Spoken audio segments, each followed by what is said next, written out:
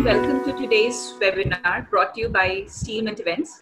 Thank you so much everyone for taking the time out and being here today. I'm Shreya Divakaran, the Assistant Program Manager of SteelMint Events team and your host for today. Just a little housekeeping before we get started. We'll be running the live Q&A at the end of the panel discussion, so feel free to submit your questions and do make sure that you share your name and company name as well. Now, without further ado, let me introduce our esteemed panelists for today. We're joined by Mr. Gaurav Mehta, Director of Priya Blue Industries Private Limited, India. Mr. Gaurav Mehta is the son of Mr. Sanjay P. Mehta, who established Priya Blue Industries, one of the largest and greenest ship recycling facilities of India, and Best Oasis Limited Incorporated in the year 2009. They are involved in the trade of cash buying ships and offshore assets for recycling purposes. Within the Asian subcontinent, Plot V1 of Priya Blue Industries is regarded as the first green yard to be certified by Class NK under Hong Kong Convention, and even the first green yard audited by European Union of Sustainable Ship Recycling for Wilds, whitelist inclusion. Welcome, Mr. Mehta. Thank you. Thank you for introduction. Mr. Arif Rashid Dar, Director of Venture Green Recyclers from Pakistan. With an extensive career in ship recycling, ship breaking industry spanning over 40 years, Mr. Dar has successfully dealt with over 1,000 vessels while heading S&P Department of Darman Maritime Trading and has been an active shipbreaker for past 20 years, being the CEO of Venture Green Recyclers.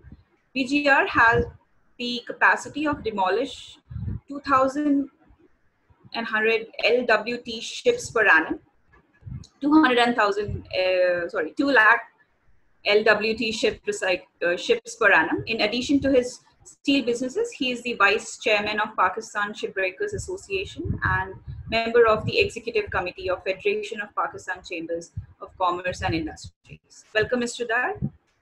Thank you very much. Next, we have uh, Mr. Sartaj M. Imran, Deputy Managing Director of Simni Ship Recycling Industries from Bangladesh. Mr. Imran commenced on his work life from an early age of 13 during the year 2006 by shadowing his father, Mr. Muhammad Imran, Managing Director of Simni. His official work took place as part time, and around 2008, he involved himself in their ship recycling wing. He chose to go abroad for higher education and did his college in London, followed by an undergraduate in LLB from the University of Westminster. Upon returning to Bangladesh, he took charge of his family business of ship recycling with the initiative, initiative of developing it into a fully compliant green ship recycling yard. Welcome, Mr. Imran. Thank you. And also joining us today is Captain Siddharth Derashri, Director of Mactrans Ship Management Private Limited, India. Captain Siddharth specializes in demolition voyages and reactivation of dead vessels. He holds 20 years of sea experience and 10 years as a master mariner, commanding more than 50 vessels for beaching recycling for the steel industry. At Mactrans in the past two years, he has led a team which has handled about 50 vessels for Best Oasis Limited. Some of them involved an extensive amount of mm. tank cleaning, demarking, and some laid up for several years was reactivated in a short time and beached for recycling.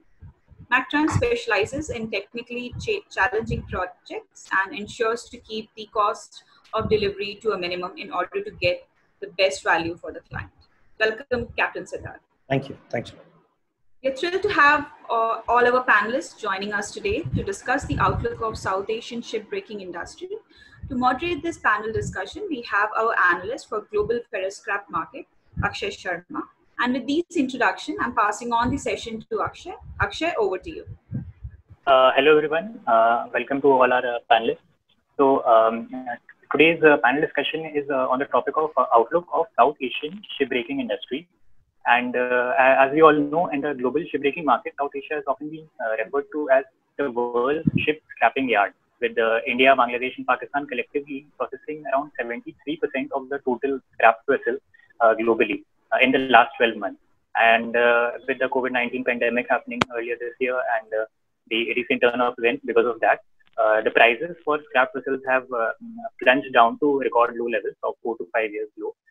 And because so, for the discussion of the same, let us listen to all all the experts from all the three South Asian markets and ship management firm come together. And uh, the uh, pointers that we will be discussing in today's uh, panel discussion will be, you know, the impact of pandemic on the industry, demand supply scenario, labor issues, and other such issues, new policies coming up, shift to green recycling, and price scenario and outlook for second half of 2020.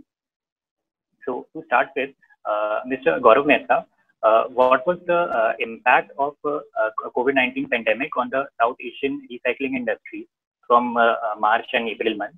Can you elaborate on that? I would like to first elaborate about the Indian market. we have seen that the prices have come down by about 110 USD per metric ton for per long ton for a ship in uh, India today. The prices prior the COVID 19 were about four uh, 420 for a container and today you can see about 300 305 for a good container vessel uh, larger sizes and the same has happened across the board for also for the bulkers uh, about 100 and 110 dollars and also for the tankers uh, as you may have seen that in the past uh, in the last few days there has been a lot of storage uh, for tankers and that's the reason the tankers were not coming in but from the latest news i hear today is the VLCC markets have come down quite drastically. So we may see a few tankers also coming in. And uh, rest uh, for Bangladesh, uh, Bangladesh also the situation remains quite uh, quite bad, uh, where uh, the sale the sale is a real difficulty for at least India and Bangladesh, whereas Pakistan seems to be one of the good markets in today's time, where most of the buyers remain. in India, we also have a lot of labor labor issues for which the there is going to be less and less demand for scrap scrap for the time being and if the labors return on time we may see a little bit of an upward in the coming. So uh, as uh, mentioned by uh, mr mehta uh, mr arif dar would you like to uh, you know, um, put some light on the pakistan situation uh, how it was impacted due to the pandemic starting from march? Yes. Basically we are buying vessels for scrapping which means we are buying scrap in the shape of ships. So this is quite relative with the international prices of all kind of ferro scraps, which includes meltable in shape of bundle scrap, shredded scrap, or HMS 1 and 2. Now, as I said, it is very much interlinked with the price structure of international scrap. So while we were dealing in 2017 and 18 year, there was a quite high price levels. They were ranging between 450 to 500 dollars a ton per lightweight, and now they have dropped in this March April months, basically due to reason of this COVID-19. In Pakistan, there is total consumption annually of about 6 million tons of long steel products, out of which normally Gadani produce about 1.5 million tons at higher levels or normally at about 1 million to 1.2 million annually. Now, after this epidemic, COVID-19, the industry of this construction has dropped drastically. Not only the builders who make buildings or structures privately, but the contribution by the government of Pakistan by way of the development has been lowered down drastically. Because of this situation, uh, I can safely say that about 50% of consumption has been reduced of these long products. Due to this, now the capacity of the mills installed for recycling uh, this our mill, this mill plate or rerollable material has gone down and uh, we foresee this situation to persist for at least another six to eight months uh, not earlier than first half of 2021 we'll see any improvement. Before that, it will be very, very difficult.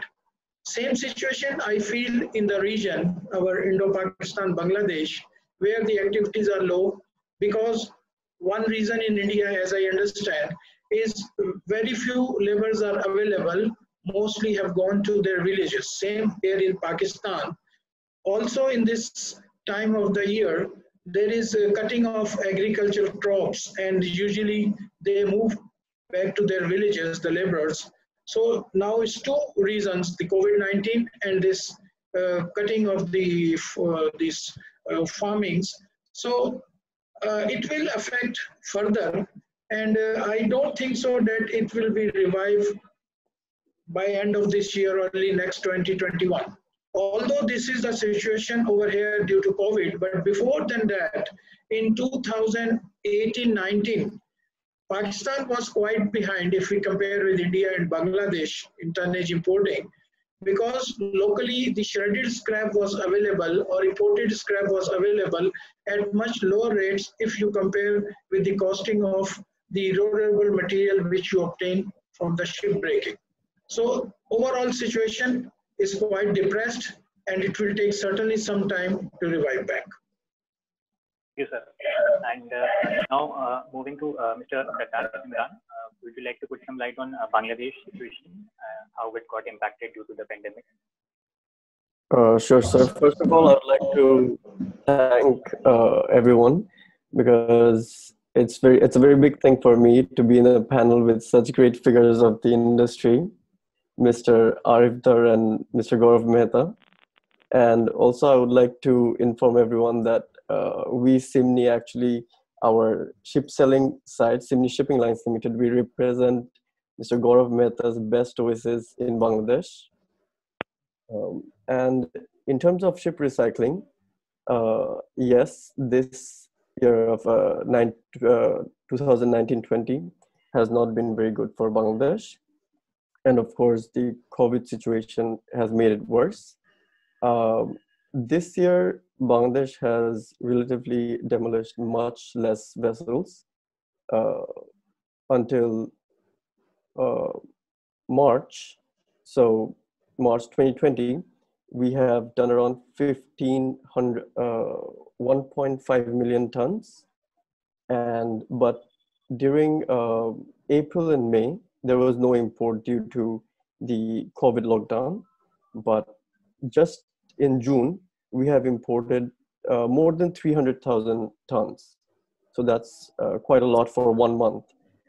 Uh, but the current uh, scenario is bad because the vessels we imported during the early stage of the year, all the vessels were for, uh, around close to 400 levels, 400 USD per metric ton but now currently we are buying vessels for 300,000 uh, sorry uh, $300 so this is basically because the local market is not supporting us because the government was working on big mega projects uh, in the country. But now due to the pandemic all the works have shut down. All the works have slowed. Shut down. You can say shut down at the moment. They have paused. So there's no uh, steel consumption in the country basically at the moment. And as Mr. Arif Dar said, even in Pakistan, I think it's the same situation because he said uh, for the next two years, he's uh, assuming that uh, we're gonna face the problem. Even in Bangladesh, we're gonna face the same problem. Like for at least till end of 2021, we're assuming we're gonna go through a very rough time. So I hope the government also is trying to support us. So let's see what happens. We can only hope for the best. Okay, thank you. So, uh, now, uh, Mr. Uh, Siddharth, uh, we would like to know, uh, you know, how was the transportation and uh, delivery of the previously booked vessels before the COVID-19 happened? So, how was the transportation and delivery of those vessels impacted during March and April month to South Asian market? Well, Akshay, it was uh, indeed a nightmare. Uh, and end of the day, owners, the cash buyers, they suffered uh, massive losses due to this. Delays and you know uncertainty. Initially when when the you know the things started stopping or you know uh, all over the world the ports starting getting shut or the airlines were not operating it was a bit of a confusion then how will this lead forward in coming weeks. So basically the only option was wait and watch however after a certain period of time you know it takes a lot of money to hold a vessel it almost costs $5000 a day to hold one medium sized ship so I mean, irrespective of the you know the size, I mean, it, it you know more or less the cost. It, uh, you know, basically when we talk about whether the vessel is 5,000 LGT or 50,000 LGT, the operating cost is more or less same in terms of crew and food and fresh water. Bunker is one one factor which you know changes the dynamics a bit, but more or less it's uh, you know generally calculated to five thousand dollars a day. So we were, I mean, uh, I mean, I'm talking about when when I say Mactrans, I'm talking uh, about Best Oasis because we work exclusively for them. Uh, that we are holding ships about five, six ships everywhere in uh, various parts of the world wherever we could convenient, you know, provide the provisions to the crew and water and you know basic essentials. And um, it took almost a delay of say at least a couple of months on every ship till we could actually the yards uh, started opening and there was some you know uh, the levels uh, got to a level. I mean the to the the minimum market price, which is right now right now at three hundred dollars a ton, more or less, here and there in different countries. But uh, the another challenge was at the same time not just with delivery of the of the maintaining the vessels or delaying the vessels or holding the vessels. The challenge, the bigger challenge was repatriation of the crew because we could we had to actually wanted to send a lot of vessels to Pakistan as the market was relatively better, but we could not because there was no no site how we'll be able to repatriate our crew back home. And uh, as you, uh, I would like to inform you that most of the crew is from India when the ships are coming, whether they are going to Chittagong or Pakistan for that matter. The crew nationality which is used uh, is Indian most of the time. So you are coming, uh, taking the crew, getting the crew back from Pakistan or Chittagong was almost impossible. So even uh, the owners had to suffer uh, on the price, but there was no option other than taking the vessel to Alang. But let's see. We are hoping the situations uh, situation will improve very soon. The airports are opening now, but end of the day, you know, the price has to stabilize. And, and as everyone is saying here, that uh, I mean, 2020 is going to be, and not just in shipping. Actually, to be honest, it's everywhere now. It's in every every industry, every sector. It's a very very volatile, not just uh, business wise, but it's a different world altogether. It started uh, now, uh, focusing more on the uh, migrant worker and the labor issues. So, Mr. Mehta, we would like to know from you, as, as you know, the labor shortage is not just in shipbuilding industry, in all the other industries also, labor shortage is being currently being faced. Uh, because uh, the because of the transport of uh, workers last month to their native places. I we would like to know how is the situation right now, and is there any improvement in the labor condition in comparison to the previous month? Uh, so what had happened is that uh, during the start of the pandemic, uh, we uh, the Ship Recycling Association of India, at least, uh, and all the shipbreakers in India had paid for the salary for the months of March and April in complete fully to the laborers, even at not at the minimum prices, but at their ongoing wages.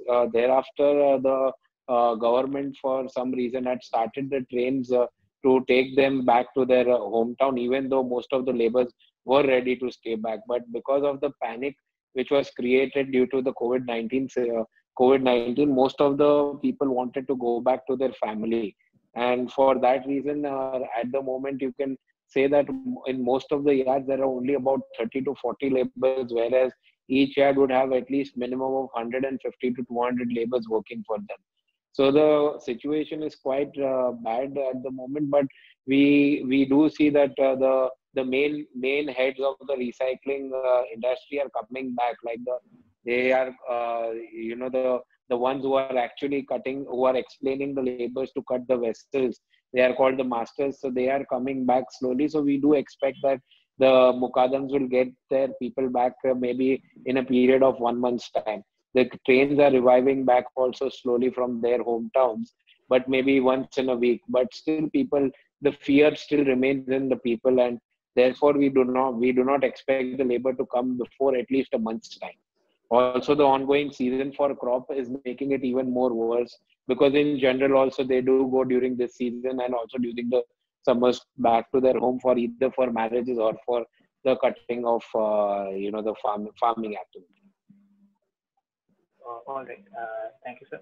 Um, and uh, Mr. Arif uh, we would like to have an outlook on the import of vessels, the demand for the same by the ship recyclers in Pakistan uh, for the coming months. How, how is the demand uh, by uh, by the recyclers affected? And in comparison to the last year, where do you see the demand in the coming months of 2020? I feel the demand will be substantial. The reason is presently we are quite close with a differential of that meltable scrap, shredded scrap, which is now trading last day, it was at about $275 per ton C&F Karachi or Bin Qasim. If there is a difference about 40 to $30 or $50 maximum remains in between the price of recycler ships and shredded or bundled scrap, then our industries have good chance to have their share in the long product market. But if it goes beyond $50, then we are not there to compete with them. This is one of the basic reasons why we couldn't do much business during 1819, 2018, 2019 period, because markets have gone so close between ship and shredded price that the difference is very high. Ships were at about $100 higher than the shredded scrap. So the industry of here, remeltable industry, having sufficient reasons and their costing is quite uh, reasonable for them to push their product in the market rather be able to provide our product of re-rollable material or meltable scrap to the furnaces or re-rolling mills.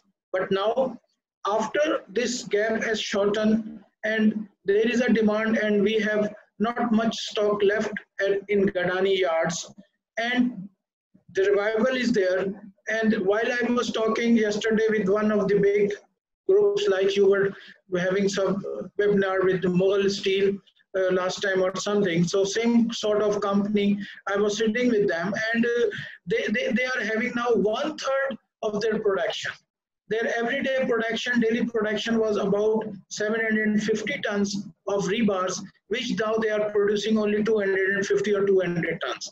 So this gives us an edge, ship breaking an edge to again produce our product for the rolling mills and there is a quite good chance. But if the prices go beyond 325 like we have recently paid the most highest levels of prices in subcontinent. We have paid up to $330, $325 for container ships. Plus, there is uh, one very big reason that uh, uh, Indians can get cheap vessels. They have developed HKC compliant yards with NK class, and they are getting cheap tonnage, no less than 10 to $20 difference what we have to pay. But there is some tonnage like they have to go to yards which are not uh, so-called green yards yet, like in Bangladesh or Pakistan. But there is a substantial tonnage is to come to Pakistan for demolition in coming months. I am sure about it. Okay, thank you. Uh, now, um, uh, we would like to know from Mr. Sartaj Imran, uh, so where do you see the demand for sh shipyard scrap by the steel manufacturers in Bangladesh? And other end users uh, presently uh, as the COVID-19 cases uh, are still rising in Bangladesh as well as the other markets. So how is the demand scenario for shipyard scrap, which is an alternative to the imported scrap in Bangladesh? Uh, shipyard scraps at the moment, um, I would say um, the imports are more now, uh, but from shipyards, what's what's happening is that all the shipyards have uh, stocks in all of their yards. Most of them have like a lot of stocks. And the uh, mills are not really taking much because most of the mills are still closed and slowly they're actually opening up. Most of the mills had slowed down their, either slowed down their operations or closed for the last two, three months, but now they're slowly opening up. So uh, they are sort of taking our uh, products. But still, I would say the amount of ships that have come in recently, just this month itself, more than 300,000 tons, uh, it's not going to be good for us uh, because the prices for us, it's going to go down further. Uh, uh, Mr. Mehta, uh, would you like to elaborate on the Indian market, in the Alang market? how is the demand scenario? so with the prices at these levels, what has happened is that the other markets, except for Alang, the closer by mills have opened up. So we now are selling our material even to Rajasthan or far off places up to UP. Uh, so the, this is giving a little bit of a boost to the industry but it remains to be seen that uh, if the labor shortage still remains uh, at all the at all the states in uh, India, then uh, the markets may uh, become a bit weaker. But uh, at at the present status and time, there is at least a good hope with other markets being able to be supplied on that the markets will remain stable. Also, the scrap markets, which was which is quite high compared to our uh, compared to the ship recycle uh, the ships prices because generally there's always a 30 to 40 dollar gap between the ship price to to the scrap price uh, and at the moment the ship price and the scrap price is more or less similar only with a gap of 10 dollars or 20 dollars. So uh, if this remains for a longer period of time it may be on the bright it may be a bright side for the ship recycler uh, all right. Uh, now, uh, we, this question is for uh, all the panelists. it has been recently observed that new scrap ship vessels are being diverted from the Chittagong port, Bangladesh, to Alang port as well as Gadani port. on you know on, on, account of better deal, better pricing. So can can you highlight on that, either Mr. Arif or Mr. Mehta? diversion of uh, vessels from uh, Bangladesh to uh, Gadani and uh, Alang.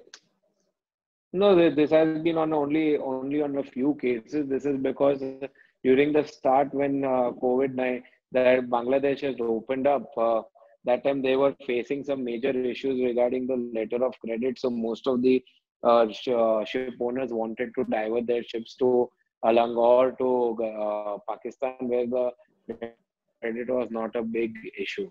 The rest uh, rest of the times, most of the vessels are still uh, still which are coming from the China from China are going to Chittagong only, and the vessels which are on the east of near Suez or east of Suez are come to India or uh, uh, India or Gadar. Uh, basically, uh, in Pakistan and Bangladesh, uh, we choose to buy the bigger tonnage, like VLOCCs and VLCCs. the more attractive tonnage for Indians are uh, the container vessels. Uh, because of their local pricing of the scrap they obtain from the container vessels and the non-ferrous contents, they pay higher prices for such kind of tonnage. Whereas we are always eager to buy VLCCs or VLOCs or bulkers or capes, a bigger tonnage, 15,000 plus lightweight bulkers or capes are always better for us. Because of our local circumstances, we can get more re-rollable material, better re-rollable material from these kind of ships. However, most of this tonnage is coming from Far East, not from West. So Far East, while they are coming from Far East, the first is Chittagong, where they can sell their ships. And uh, by uh, ballasting cost or other cost involved for the delivery on ballast, uh, it will be about $5 or sometimes more higher to deliver Pakistan than to Bangladesh if coming from the east.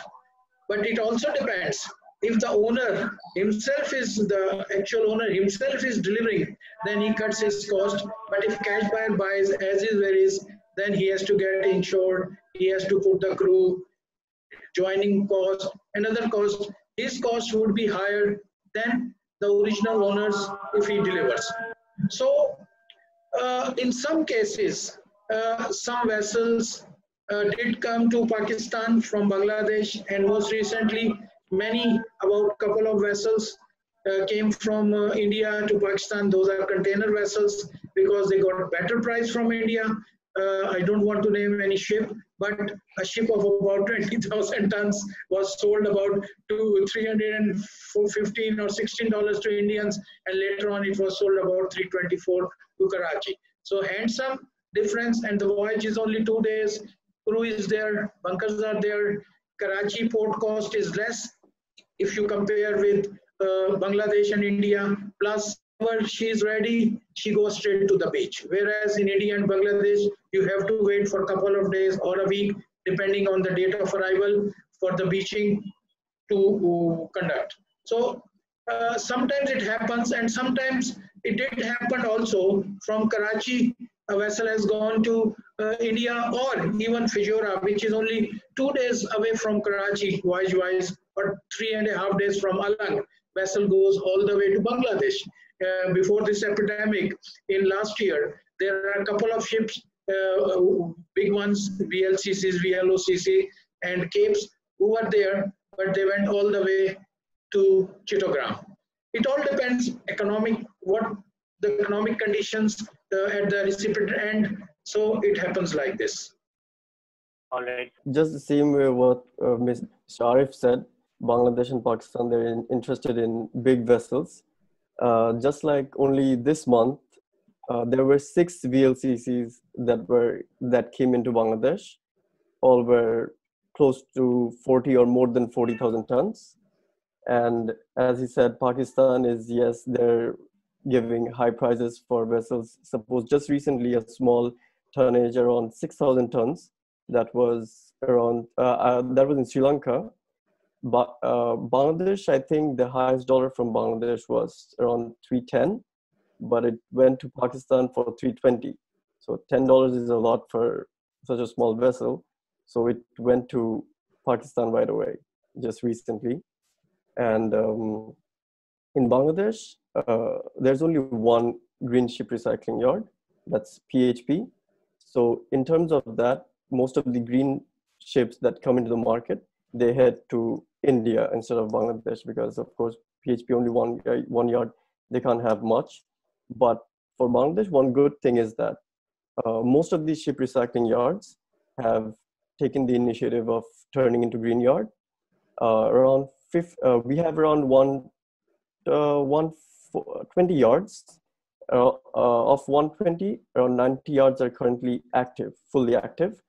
And out of that, already 50 plus yards have their SRFPs, ship, uh, ship recycling facil facility plan, approved by the Ministry of Industries. So we are soon, uh, hopefully we are aiming within the next two years, we'll have more green ship recycling yards in Bangladesh, hopefully more than close to 20 or 30 ship recycling yards, green ship sure. recycling yards. So uh, then they will be able to take the advantage of a better, better pricing. Uh, and, yes, uh, hopefully. So uh, now moving on uh, to uh, Mr. Siddharth. Uh, from the uh, month of February and March, uh, was there any change in the process of ship inspection at the origin countries like South Korea, etc., with the rising cases over there, and did it impact the overall business? this industry is basically just like most of the industries is very customer oriented, customer focused. so the the I mean when when you talk about the other difficulties what we face as a manager or representing a cash buyer taking over a vessel or handing over a vessel inspections or and so on the logistics basically. This all basically you know is, is, is a very small factor when you talk about the end price the the situation for the recycler at the recycler's yeah, end. So however having said that see if there is no demand there is you know there's no point in conducting inspections or buying ships. But if there is demand, then you know the price will always take care of it. That uh, the Pakistan, I mean, Pakistani market will give, and if we can repatriate the crew, say top dollar than the other uh, two countries, then uh, you know the cost of uh, such you know uh, operational stuff is you know negligible. However, having said that, you know it it uh, there was a tremendous impact on on inspections uh, on crew connection basically more than inspection see for inspection, we can always send some local nationality without, I mean, someone traveling all the way from India or or wherever. But uh, we can always find people, technically sound people in the local countries, the country of origin from where the vessel is uh, available for sale. But uh, if we cannot connect the crew, then then you know that's a bigger problem which we have been facing in the last say last two months or so. Even uh, for repatriation, I mean, uh, I can I, we have experienced it. You know, the owners spending a fortune and getting the crew back, very big amounts. I'm talking about. I'll not put the figures here, but um, it's like hundreds of thousands of dollars just to get people back on a charter flight. It uh, changes the dynamics of the project uh, tremendously. So more than the inspection, it's it's you know the execution of the project, the taking over of the vessel, and also, as I said earlier, that when we hand over the vessel to Pakistan, we don't know how we'll get the crew back. But hopefully now things are. I think the the worst is behind us in terms of you know the uncertainty. The market, of course, uh, you know, gentlemen here will know better, and they have already you know informed us. But uh, in terms of the uncertainty, the volatility, it's I, I believe the worst is behind us, and we can see in the next couple of weeks things improving and then the local uh, demand will you know dictate the market. All right. Yes you're right. It is a big issue the repatriation of the crew. Uh, but uh, uh mr siddharth most recently a vessel ship uh, beached at gadani and uh, there were some indian crew as well and those have been repatriated. But as you said uh, rightly, there was a charter flight from Karachi to Bombay. And uh, fortunately, uh, the shipping agent got hold of some seats in that airplane and as what just went this is way. Otherwise, uh, a ship has been uh, beached and uh, the crew is meant to go to Manila. And the route, we were having two options. One is Karachi Abu Dhabi, Abu Dhabi to Amsterdam, and Amsterdam to Manila. And the other route was available Karachi, Dubai, Dubai, Chicago, Chicago, Montreal, Montreal to Manila. And the cost of economic class fare was $3,200 per ticket. So this is a very, very big strain on the sellers uh, cost wise as well as time wise because generally the crew is allowed to stay uh, in a country for seven to two hours on their CDC. Uh, but for that particular, I was I am quoting the crew was on board the ship after beaching for a week, and then three days in a hotel, and after ten days flown back to their destination.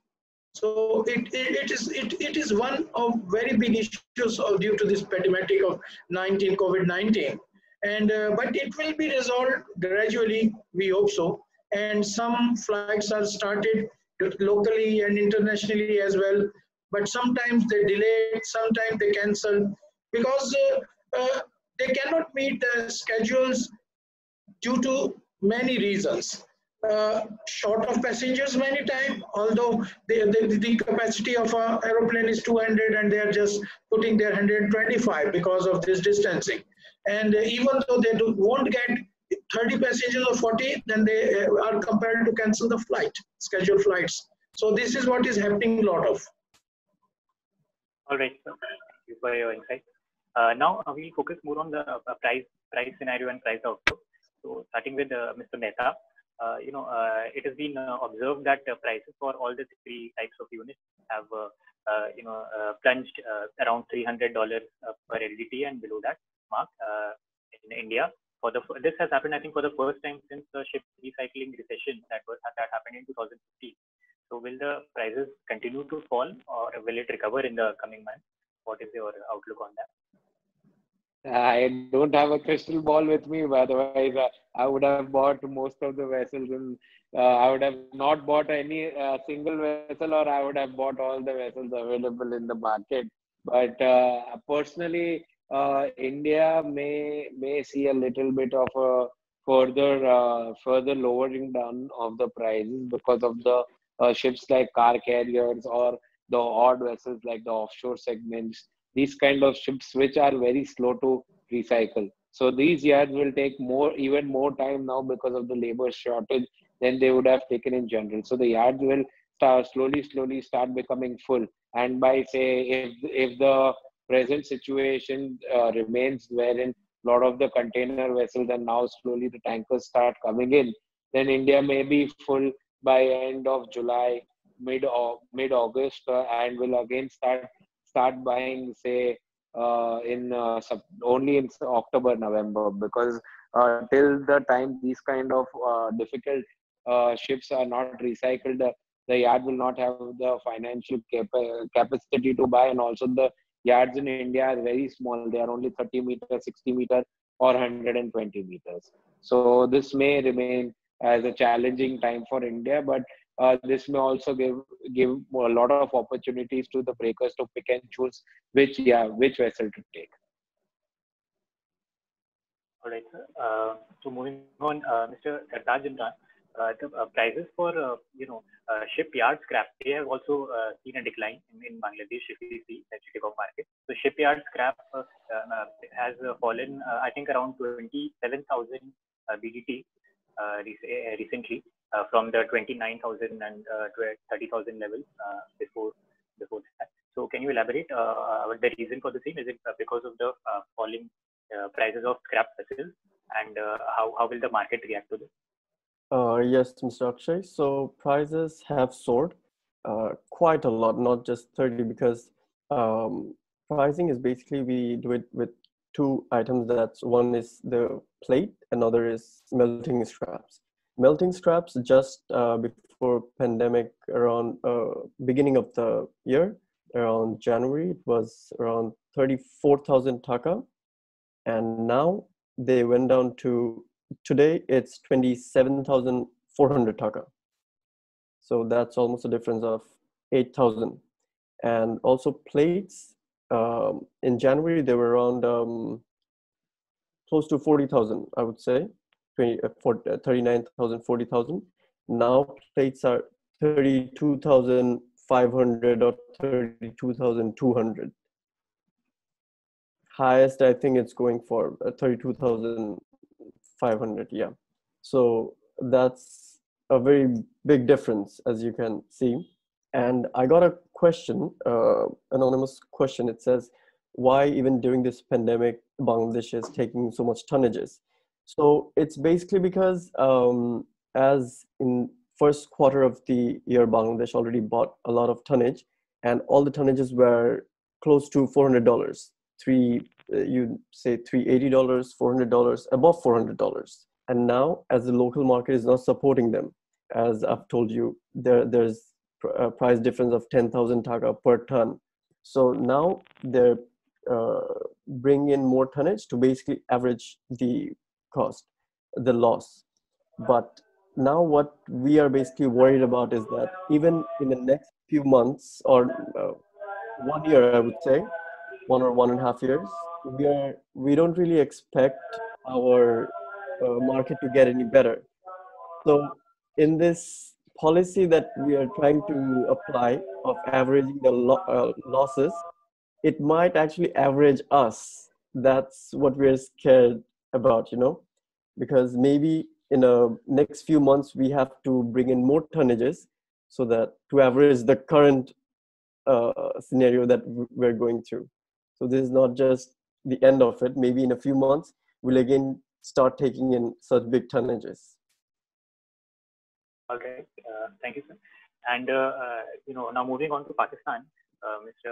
Arif uh, some good news in the budget annual budget this year has been announced, uh, which is uh, you know presented uh, recently, that the income taxes uh, will be reduced uh, from 4.5 to 2 percent. Melting scrap prices for the import have been reduced from 5 percent to 2 percent. Custom duties on the import of ships have also been slashed from 2 percent to 0 percent. So how will this impact the overall import scenario and the local scrap prices scenario in Pakistan? Can you elaborate on same? Before 2018-19 budget, the 4.5% income tax was our final liability. They have not to ask any other more income tax to pay. that is to be considered our full and final liability, which, pay, which we pay at the stage of import as withholding tax. But last year, they have kept 4.5% as it is, but this is as a minimum liability. In fact, if you make more money, you make more profits, then you go beyond 4.5% which you have paid, then you have to pay further. If you have not um, made such uh, profits that it equates 4.5% of the income tax, then you make not claim because this is the minimum tax. So it was a big anomaly, uh, basically also due to the all other steel factors like furnaces, re-rolling mills, etc. They were having uh, withholding tax at the import stage of about 1% to 2%, and which is also adjustable. And on top of that, there is another tax which is known as turnover tax, which is levied on re-rollers and the smelters. And they, they makes profits in books to such extent that the 1% which they pay at the as a turnover tax equates to their liability and they claim for 1% withholding or 2% withholding which they pay at the import stage. So it was a great anomaly for us shipbreakers. So we were pursuing our case for this uh, to be equate or it should be even field for everyone. So in this budget, they have become uh, come with a 12 schedule of income tax under section 2. So we come at par with 2% but this is the minimum liability and we have to file the return with our accounts and if there is some adjustments we have to pay uh, one another thing there is a, a cd uh, extra CD, uh, custom duty of 2%, which was levied on us as well as melters, melting scrap, and re-rollers. So that has also been abolished. So this 2% and 2.5%, 4% have gone. So this gave also a good edge. But as I said earlier, the basic reason of revival in Pakistan is the difference between the meltable scrap internationally and the ship prices. As you must have seen, SteelMint quoting so many directions of the price in the worldwide. Recently, if you compare week to week or to compare month to month, you have seen the prices of bundled scrap, the HMS 1 and 2, the shredded, all has come down from 5 to 5 to 7 percent almost because they touched 300 now it's rolling at about 272 last day as i said there was a cargo book for pakistan 5000 tons in containers at 272 and it was previously went up to 300 so 5 percent about is 5 to 7 percent is decrease and further it seems uh, it will go further down. Basically, because the reason uh, is the scrap has to be sold as a scrap for remelting. The ship, if shipping revives, you can run the ship for some time, but scrap has to be sold for scrap. So, since the consumption worldwide is lower, so the prices will further depress, or at least they will not go further beyond these levels. So it will be better for us as well. And uh, if the uh, ship's price remain at around 3, 325, it is good for us. And uh, there will be opportunity for shipbreakers in Pakistan to buy more tonnage. And there are quite number of yards are open. And uh, uh, I am uh, confident quite a number of ships will be sold in coming weeks. And if the price remains around the same levels. Uh, now, uh, moving towards uh, discussing about green recycling, Uh, Mr. Mehta, uh, uh, you know, many of the ship recyclers in India have already shifted or are in the process of shifting towards green recycling in line with the Hong Kong Convention guidelines. So, can you highlight what proportion of the ship recyclers now in India have have transitioned to green recycling, and how many years does it take for for the same the shift? Uh, Mr. Mehta? Uh, yeah, so to explain you a bit about green recycling, there are about uh, three different classes who are uh, classification societies who are at the moment doing the certification for Hong Kong Convention, which is which was a rule passed in the year 2009, and uh, this was also confirmed by our Parliament very very recently in the last year. So either it has been now a compulsory thing to be done within the next five years that all the yards have to be HKC. The good part about it is that India had started it uh, very much uh, much before most of the other recycling destinations in the world.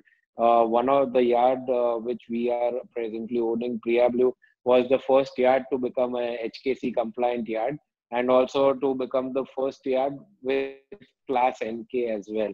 The class NK, uh, there are so basically three classes: class NK, RINA, and IRS. So class NK is is uh, at uh, the helm of uh, of green recycling, so they are considered as the best class. Thereafter, uh, we can we see as RINA, and then thereafter IRS. most of both the classes come under the same purview, but people still prefer to have RINA over IRS. Uh, it takes about, uh, uh, depending on which class you want to go up to, uh, what kind of green do you want to go up to. So there is an unlimited amount of time, uh, uh, developments which you can do in green recycling. But as per the classification society, I can say that for a class NK yard, it will take about one one and a half year to become a class NK yard compliant. Uh, for RINA about three to four months and same for irs as well but for all the classes now the they, the regulations are becoming stricter and the, they make sure that they can see at least one full ship being recycled under their class supervision and thereafter they give a certificate of compliance all right uh, at the moment about out of the 120 yards in india uh, say about 100 yards would be in work are working and out of that at least uh, 70 to 80 yards have already received uh, HKC. All right, 70 to 80 percent have already. Yeah, yeah. That's, that's uh, and uh, Mr. Sartaj, uh, as you mentioned regarding Bangladesh, uh, as of now only one ship recycling yard is green recycling compliant as PHP, but most of them have already been working towards that. So by when can we have majority of the major ship recycling yards turning to green recycling and also if you could highlight what are the benefits that uh, they will be receiving uh, once they become uh, compliant with it uh, first of all i would like to say that um, um, now we have uh, just one green uh, fully compliant green yard but to get majority it's going to take some time because even this covid situation it's it has slowed down things um, i think within the next five years if five years should be okay for uh, most of the yards to turn into green. And one advantage that we have in Bangladesh uh, is that uh, Bangladesh yards are much bigger compared to um, Indian yards. Uh, and one other uh, advantage we have is that we can beach a lot of vessels side by side as well as one behind another in Bangladesh which I think um, in India, I think Mr. Gaurav Mehta can uh, uh, tell us. I think it's not possible in India to beach a lot of vessels at a time, which is possible in Bangladesh. So if Bangladesh can uh, produce more green yards, it's going to be a good future for Bangladesh. And um, suppose one more thing I would like to bring into limelight is that the generation before us like our fathers who were uh, handling yards. Uh, there was a time, even 10 years ago, when they didn't really bother much about you know the conditions of the yards or whatsoever. But now it's not just the new generation, us, even our fathers, uh, the uh, generation before us, they have changed their mentality. So they have a very positive mentality of you know uh, uh, like uh, doing as much as possible, uh, even in terms of the workforce, the labors the basically keeping the environment safe overall. Even though we are not green yet, but our yard setups are not bad at the moment. They have improved drastically over the last 10 years. Um, and after seeing PHP, uh, which is handled by Mr. Zahir, uh, if you enter the yard, you're gonna feel like you're in a first world country. You can you won't say that this is Bangladesh to be honest. So after seeing that, even the other ship breakers, uh, ship recyclers, I would say, I wouldn't say ship breakers, ship recyclers, all of us, we have changed our mentality. And we're like, we have to go to the next step, uh, next, next stage. And we are following PHP basically. So yes, uh, we see a bright future if Bangladesh can go into more ship recycling, uh, green ship recycling yards. Yes, yes. Uh, so I was saying that uh, can you uh, highlight that uh, are there any new uh, changes that are coming up in the next few years with regards to the ship inspection process and the logistics and transportation process, which will be in, beneficial to the overall industry? any technological changes or anything as such? Well, it's not about inspection or, or uh, changes per se, but mainly it's about the IMO regulations. The IMO is the governing body for shipping industry, as uh, we all are aware. But yeah, the new as new regulations keep coming into place, you know, all the ship owners and all all the, I mean, uh, it depends on the age of the fleet. It's not uh, practically viable, uh, you know, at times to convert it to the and, and maintain the latest regulations. Have the new fittings and the new, you know, uh, basically uh, equipment should be fitted. The cost is not viable, and and of course it benefits the recycling industry end of the day. Uh, the real latest one was uh, the fuel oil, uh, the very low sulfur fuel oil uh, regulation, which came into place and was implemented from the 31st of March eventually.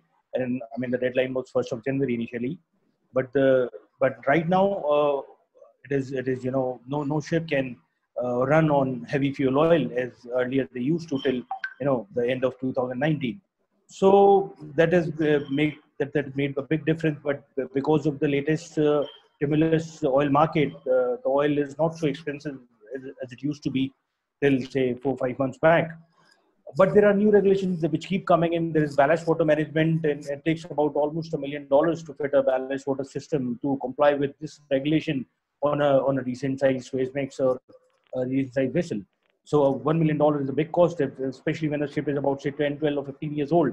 It is at times viable or practical to send her to a recycling yard instead of putting that kind of money in a vessel which has got another four or five years left hardly. So, of course, at the end of the day, benefits the shipping industry, which is uh, the recycling industry rather. Sorry. So, uh, I think uh, 2021 will be all about ballast water management and VLSFO, which is not the prices of oil in particular, is expected or, or is forecasted rather to you know come back to its earlier levels, say about uh, plus fifty dollars a barrel in the next say three four months or so. Once the storage you know all around the world is, is you know about to be consumed, then the prices will come up, and then the VLSFO effect will again be there for the ship owners to run their ship on on the more sophisticated oil and to bring that machinery or put a scrubber on a on, on an engine it's not an easy task. It's not a cheap uh, cheap thing to do. It, it takes a lot of big amount of money and dry docking, and you know it's it's which will eventually benefit the recycling industry in a big way. So 2000, but right now the tumulus market conditions are are you know game of the day. They're the, the talk of the time. So once we are out of COVID, we'll actually we'll be able to figure out how much it has benefit the recycling industry, which will, in my opinion, it, it will be a big benefit for the recyclers. All right. So uh, now we will be moving on to the uh, audience questions, and uh, the, uh, I will be asking each of the panelists the questions that have been asked uh, by our participants. So first uh, question is for Mr. Arif Dar. for Pakistan, will the Chinese imports increase due to the economic corridor? How will this impact, and what will be the timeline for the same? This is asked by Mr. Arjun Banerjee. Uh, the CPEC and uh, Chinese economic corridor, uh, the development for those particular projects like roads, bridges, industrial areas, uh, these uh, power projects, or some industries. Uh, the steel used in those projects to some extent is definitely imported from China directly due to some agreements with China.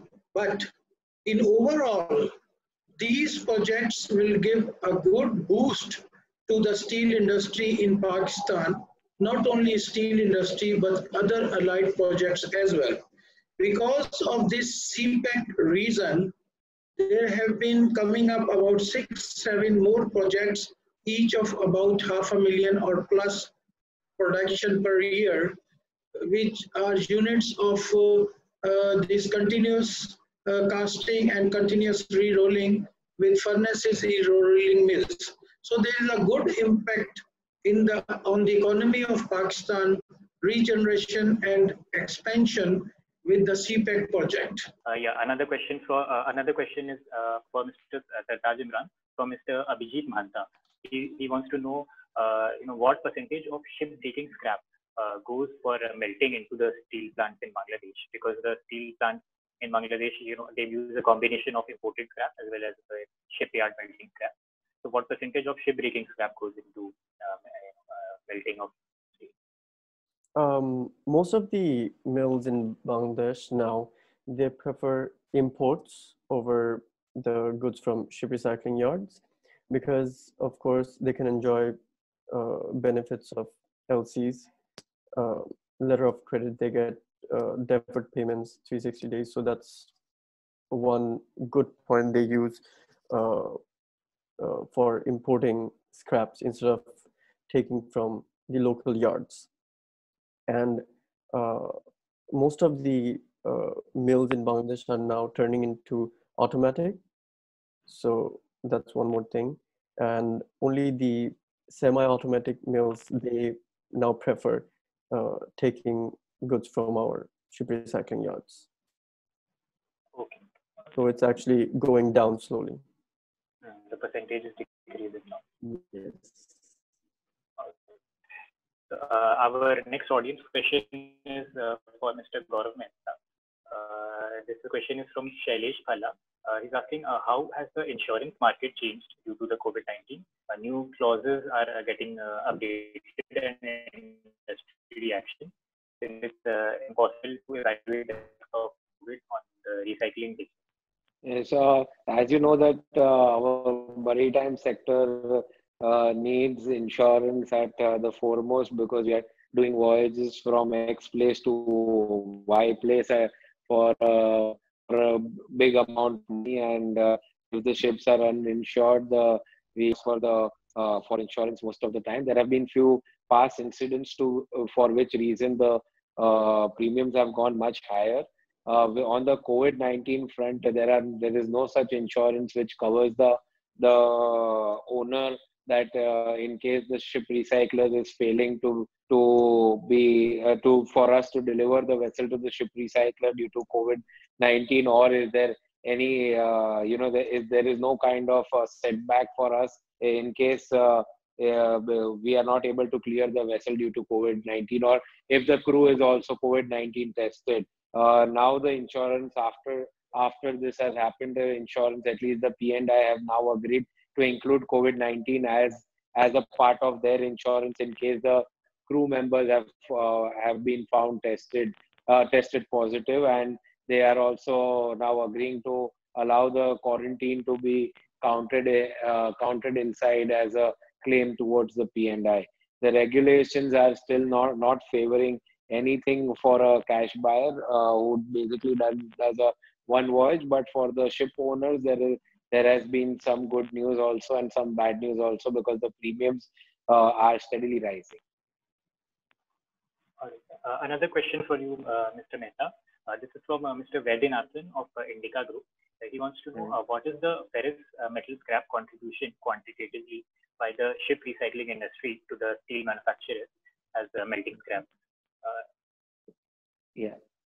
so we we do not get uh, as much as amount of melting scrap as much as we get for plates. I do not have the exact figures on where on what basis how much uh, uh, steel scrap is going to to the nearby mills. Uh, but i can tell you on an average that each yard on a daily basis would be getting about uh, 30 tons to 40 tons of steel scrap only. uh, Uh, for uh, selling each day. So you can calculate about 100 yards doing 30 tons is about 3000 tons a day.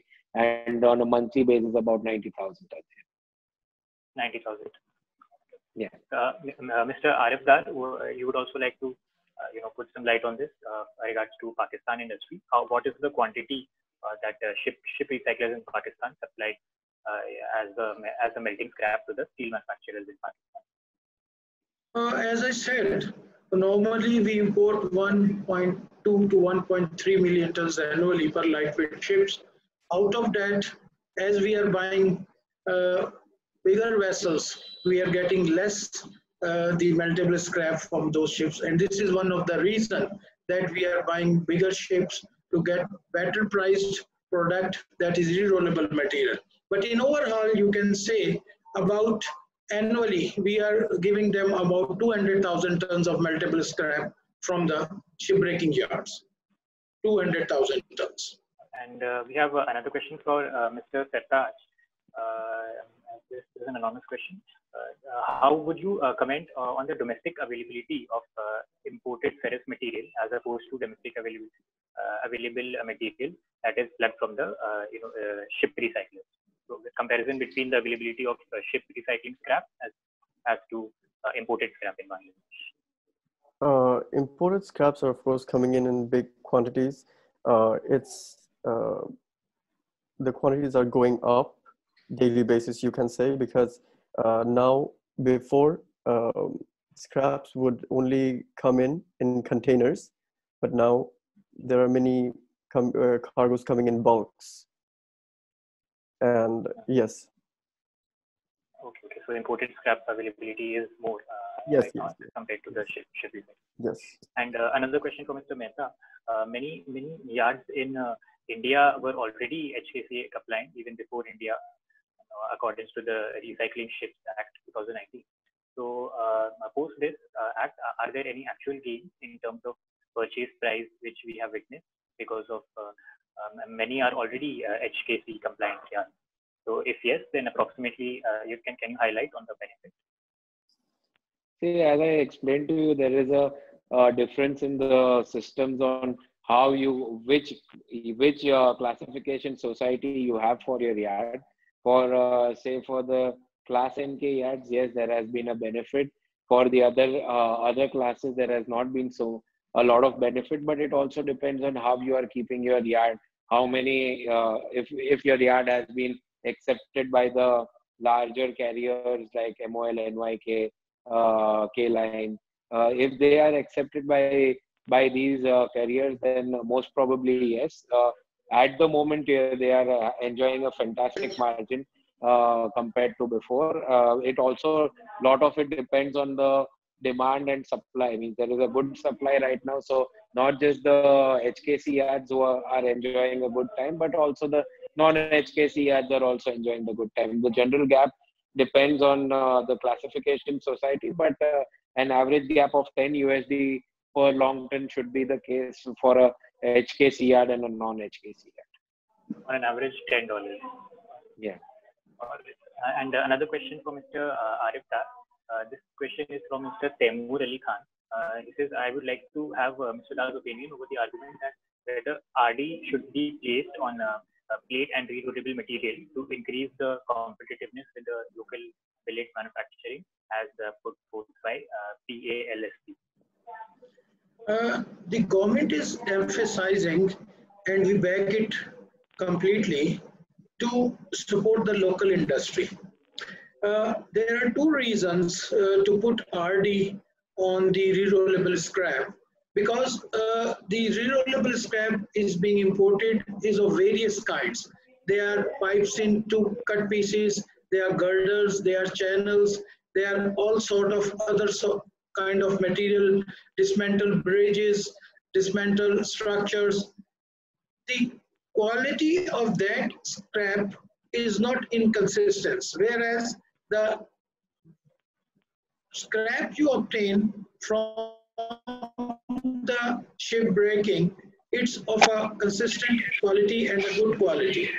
To just uh, give an edge uh, to shipbreaking industry and other local industry, government has put RD and we, we feel it is a good decision to keep RD there on billets uh, to just support the local uh, furnaces, rerollable material to support the shipbreaking because it's an uh, uh, incentive to the laborers to consume labor force over there and uh, employers. So it is better for any country who is developing their uh, basic industries to make such kind of uh, efforts. Okay, thank you, sir. And uh, last audience question that we have is, is, for Mr. Gaurav Mehta. So, Mr. Kylie Yoon wants to know, he wants to have a price outlook for the scrap in the future. Wants to know when do you all uh, expect the price will be restored up to $400 level for the scrap uh, see, uh, we at least for the time being, we don't see the scrap markets to go in 400 region. Uh, what we can see, if they remain at these levels, is also quite healthy. We just have to hope that it doesn't go below these levels. Uh, the last time when this levels had reached were in 2009, but thereafter 2008-9, where thereafter the markets had picked up quite a lot because there there was a reason of only financial problems. Right now, there is not this financial problems but we also have a have a disease which uh, no one knows when there will be a cure for it so once there is a cure a cure in place would the market be in a situation to improve far faster and uh, improve much better than what it is right now until that time we don't have a proper uh, proper medicine for this uh, for the covid 19 i don't see the market to be moving further ahead than what it is right now. all right so with that, we come to the end of the audience question, and uh, we will be concluding the webinar. Thank you, everyone. Thank you to Thank all the panelists and the Thank you, everyone. Thank you. Thank you. Cheers. Bye.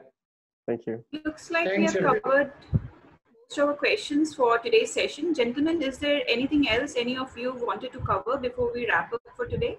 Would any of you like to share something else apart from the panel discussion that has been done today?